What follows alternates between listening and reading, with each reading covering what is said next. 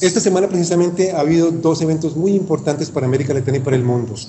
El primero es el avance significativo en el proceso de paz en La Habana, sobre todo en relación al tema de la justicia transicional, que era uno de los temas más difíciles de lograr en los acuerdos de paz de La Habana. El segundo, y me parece que está relacionado de alguna forma, es la visita del Papa Francisco a Estados Unidos. Y yo creo que si ponemos ambas cosas juntas, nos damos cuenta de que hay un momento en América Latina y en el planeta en que se impone pensar con categorías nuevas, tanto lo que se llama post-conflicto, en Colombia en particular en este caso, como pensar con categorías nuevas el modelo de desarrollo que han estado siguiendo las sociedades latinoamericanas y en realidad todo el mundo. Eh, por, por, el lado del post-conflicto, de que tenemos que empezar o darnos, darnos cuenta de que el posconflicto no se puede construir con las categorías que crearon el conflicto. El gobierno de Santos, me parece a mí, aún continúa muy apegado y de, de hecho lo han, lo han, dicho, a no negociar el modelo de desarrollo económico basado en lo que en Colombia Santos ha llamado las locomotoras de desarrollo, las locomotoras de desarrollo incluyendo la locomotora minera o minero energética, la locomotora de la agroindustria, etcétera, etcétera, pero que son precisamente esas locomotoras y ese modelo de desarrollo que ha creado una desigualdad impresionante, no solamente en Colombia, sino en América Latina y en el mundo, que es uno de los temas principales del Papa Francisco, es la desigualdad creciente a nivel mundial, que está muy constatada. Entonces, que el posconflicto en Colombia es el comienzo, y realmente lo están llamando más correctamente últimamente el posacuerdo, pero el posacuerdo tiene que ser el comienzo de realmente negociar la visión de sociedad y desarrollo que queremos, que no puede seguir siendo fundamentada en el crecimiento económico sin límites, en modelos que generan desigualdad, etcétera, etcétera, sino más bien en empezar a caminar seriamente hacia el buen vivir y a una relación mucho más armónica con la tierra en particular. Entonces me parece a mí que, eh, que es un momento muy especial para Colombia se discutirá mucho en la conferencia de la clase, sin duda,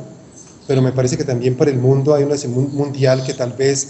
el Papa Francisco está articulando mejor que ningún otro líder en el mundo.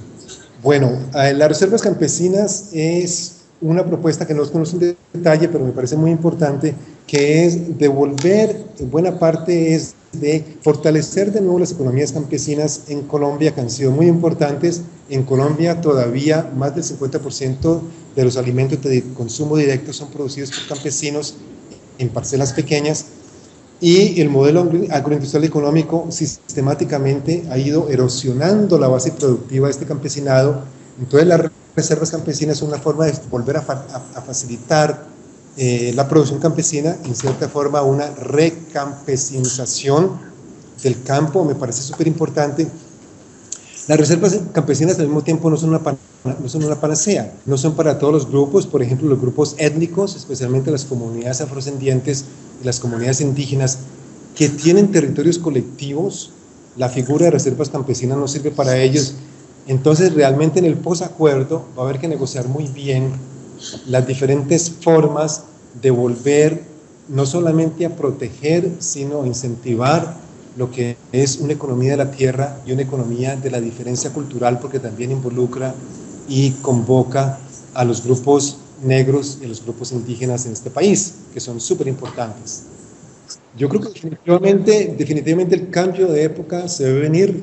y tenemos que empezar a oírlo de una forma más clara y más nítida porque está ocurriendo y está ocurriendo en muchísimos movimientos por la localización de los alimentos, por ejemplo, por la localización de la energía, movimientos que llaman a volver a la tierra también. Hay, hay muchísimos eh, movimientos y el concepto, me parece a mí, hay dos conceptos que están, digamos, cristalizando ese llamado al post-extractivismo, que son precisamente el concepto del buen vivir por un lado, de que la meta de la actividad económica y social no debe ser el crecimiento económico, sino el buen vivir. Es decir, en vez de subordinar el buen vivir a la economía, subordinar la economía al buen vivir, perdón, hacer lo contrario, que es subordinar la economía al buen vivir, uh, es lo que debemos hacer. Y me parece que ya hay una estrategia muy bien desarrollada, que es el marco de transiciones al post-extractivismo, desarrollada en Sudamérica, particularmente por CLAES en Montevideo y más particularmente por Eduardo Gudinas y su grupo, pero también en países como Perú, Ecuador y Bolivia, donde se ha venido desarrollando toda una estrategia y hay unas experiencias ya de post-transiciones al post-extractivismo, mostrando que el post-extractivismo, que sí hay vida después del extractivismo y que podemos atrevernos a pensar así, muchos, la mayoría de los gobiernos en el continente todavía sigan persistiendo en el modelo económico extractivista. Eh, es, es una, esa es una verdad que me parece que es una verdad parcial. Es obviamente de gran importancia hoy en día profundizar las reformas sociales y políticas, la democratización del Estado, la democratización de la, economía, la reducción de la pobreza, la reducción de la desigualdad. Pero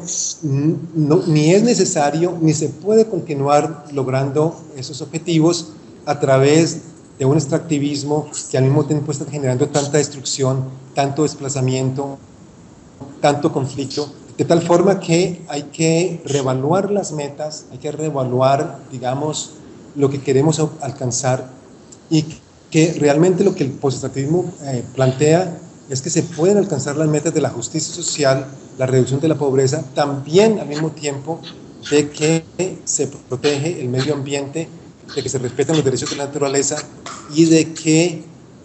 logramos el objetivo de que no se sigan extinguiendo las especies en nuestros países. El, post-extractivismo, por ejemplo, habla de dos grandes criterios, cero pobreza, cero y cero eh, destrucción de especies, extinciones, cero pobreza, cero extinciones. Me parece que si articulamos esas dos metas y, y América Latina está en capacidad de hacerlo, vamos realmente a, a lograr la transición al post-extractivismo.